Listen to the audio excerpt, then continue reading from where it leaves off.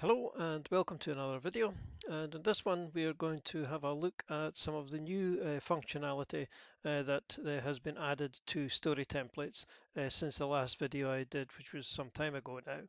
Uh, so we're going to have a look at uh, some of the new stuff that's been added. this video will by no means cover everything but it'll be enough to get you started. So the main thing we'll be looking at really is um, recalling information uh, into a story template from a multi-column table. Uh, this is something that wasn't possible in the uh, original iteration of story templates, uh, but new functionality has been added which allows us to do this, and this opens up um, many more possibilities for creating story templates. Uh, so let's uh, have a look at a simple story template in this case and we're just going to look in this case at uh, race. Um, and it's a very simple table or a very simple template. All it's doing is calling a table called race. And if we open up our race table, um, we can see that it's a multi-column table. It's just got two simple columns. Uh, the first one uh, gives us uh, the uh, race with a capitalized uh, letter and the second gives us our race uh, without that. Um, so that this means that um, if you were constructing a sentence, obviously, which started with uh, human, then you would need a capital letter. If the uh, word, if you wanted the word to appear in the middle of a sentence, you don't want it to be capitalized. Now, previously, um, if you had rolled on this table, then you would just simply have gotten uh, a result from the first column. If you'd wanted to roll a result from the second column, then you would need to have specified that. And of course, that would have no relation to whatever was on the first column. So in effect, previously, you, you really couldn't uh, do very much with uh, multi-column tables uh, and set up something like this but now you can. Um, and simply rolling on this table is going to give us a result uh, which will be either one two three or four and it will return all the elements uh, from the table in no matter what column they're in and it'll retain that column. So if we generate this table here or generate this template here what you can see is the result is halfling halfling. So we've gotten a result of three and it has returned both the first column and the uh, second column uh, of our table. So you can see that this is obviously immediately uh, very useful. Um, so let's take this a step further uh, and we'll have a look at another template, this time the gender template. Um, and if we have a open up our gender table, uh, we can see that we now have uh, six columns here and we've got pretty much the same kind of thing. We've got male and female. Um, but we've also included uh, a, non-capitalized version and we've also got all the various pronouns as well um, so that we've got those capitalized and non-capitalized um, and that means that we can construct sentences um, with uh, all of the possible variations of uh, he and his or her and she uh, in sentences and we can keep the uh, logic uh, of that. Previously, you just wouldn't have been able to uh, roll on this at all. Um, and we can see here that in, in our table, we've uh, generating the results here. And in order to get the result uh, from this roll, this roll here is just simply going to give us either a one or a two, and it's going to return all of these results on this on this line or on this line. Um, but we can recall these results, which is the important thing, uh, by including the uh, the call to the table in uh, hashes uh, along with our pipe to tell which column we want to uh, recover. So in this first result here, we're wanting to recall the first column of the uh, gender, uh, the result that we're going to run. So I'll generate the table and we'll see this more clearly. So if we generate this, we've obviously rolled a one here and it is now, uh, as you can see, it's given us all the columns from uh, the roll of one and these are the results that we can recall.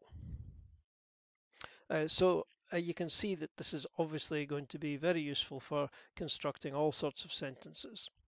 Um, now, one interesting thing that you can do here, which we can demonstrate, is that if you don't really want this uh, output here, uh, we can actually insert a query uh, before the uh, output, before the gender.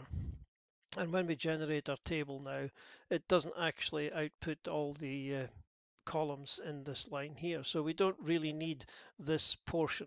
Um, we need, obviously we need to call the table, but we don't need to um, have anything there to tell us that we've actually rolled on this table. It would be quite sufficient just to have the uh, gender with uh, in brackets and with the query icon and there would be no output from that but the output is stored and you can still recall uh, the results. Uh, now, of course, there are still occasions where you're going to want to uh, just roll on a particular column. And so if we have a look at the uh, story template here. Um, what we've got is we've got three uh, articles of clothing and if we want to open up our uh, dress table um, and essentially we've just got uh, three columns and each of them has uh, some kind of descriptive test, uh, text um, related to uh, those items. And so we just recall these uh, or we roll these in the normal way. So if we uh, wanted uh, our waistcoat here, dress one is going to uh, roll uh, a result from table uh, from column one, uh, the leggings from column two, etc. And when we generate that, what we see is we get our results. So our waistcoat is going to be rough woolen, our leggings are loose fitting. So when we put in the pipe here, when we want to actually recall something specific from a particular column, then we specify uh, that column and just uh, do it with the normal square brackets um, and we will get the uh, result uh, from just that column in that uh, table. Um, now another interesting thing which uh, you can now do is to actually define variables um, for your story templates and you can uh, put things into those variables. So if we have a look at the color story template here and we have a look at our colors table, uh, we can see this is just a simple table and it's just a, a list of colors. Um, well, what we've got here is we have assigned or we want to assign a color to uh, this article of clothing, in this case, the waistcoat here. And the way we would do that is to um, enclose everything in our normal square brackets. But we uh, put the colors here in colons beginning and end. And what this is going to do is is going to roll on the colors table. And it is then going to assign a color to uh, this keyword here, waistcoat. So we can then uh, use waistcoat as uh, our color. So we can see here when we recall this, the waistcoat color is we just put it in the normal angled brackets and this will come up with the color that we have defined by rolling on the colors table. So if we generate this table here, we can see that just simply rolling on the table gave us a white, which is of no relevance in this case. Um, but we have assigned yellow to the waistcoat and we've assigned green to the shoes. And so when we recall the waistcoat here is recalling the correct color as yellow. And when we recall the shoes here, the shoes are coming in at the color of uh, green.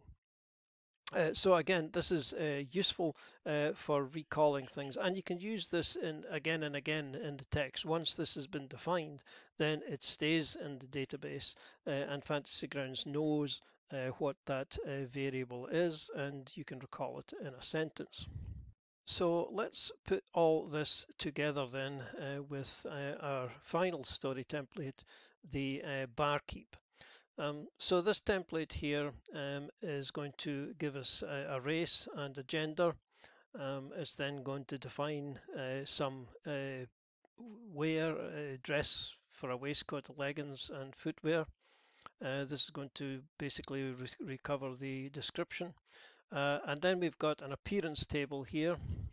If we have a quick look at the appearance table, it's quite extensive.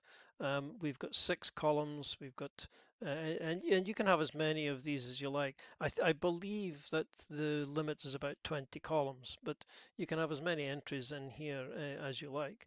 Um, but each of these um, is going to roll on this table simply is going to roll on the nose uh, column uh, on the appearance uh, column one and it's going to return uh, one of these results and each of these skin eyes etc is going to return. It's going to make a row on each of these columns and we're going to get a different uh, thing from from each column here.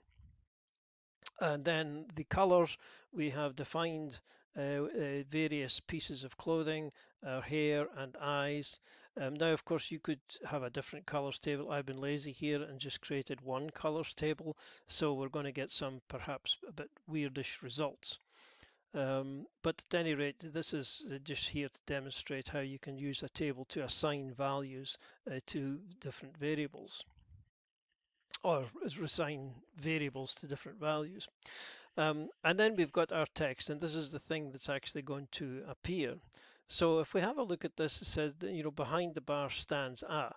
Uh, and then we're going to uh, recover our appearance uh, uh from column six of the appearance table, which is going to be uh, up here, and this is our stature uh, of our character.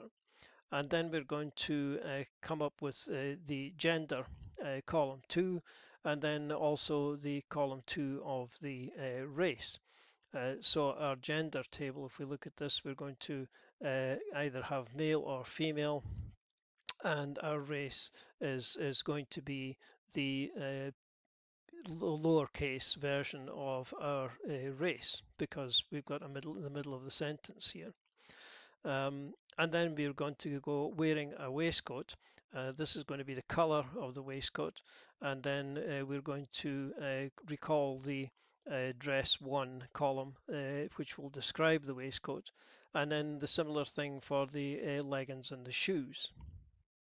and then in the second paragraph we're going to have the appearance of the hair and this is going to be the color the hair part is going to be the color of the hair um, and then gender 4 is going to give us the uh, pronoun for gender 4, lowercase, he or she.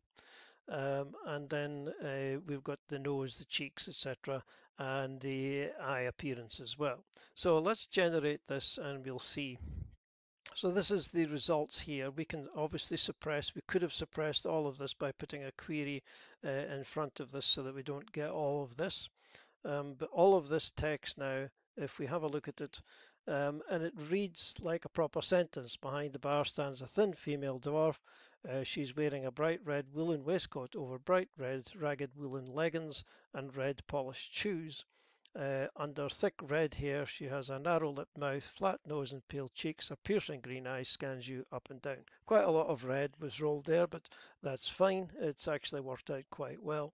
Um, so you can see that um, the power now behind the story templates and being able to roll and store information from multi-column tables is going to be able to generate uh, much more productive sentences uh, and it'll keep things like uh, genders and pronouns and all that kind of stuff um, uh, capitalized and all that kind of thing. Uh, you'll be able to construct um, quite uh, proper sentences from the new version of the story templates.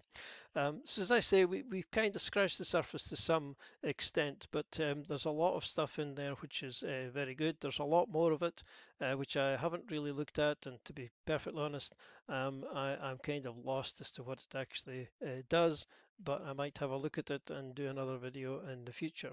But at any rate, uh, that's it for this one. I hope you found that useful. Uh, thanks for watching and cheers for now.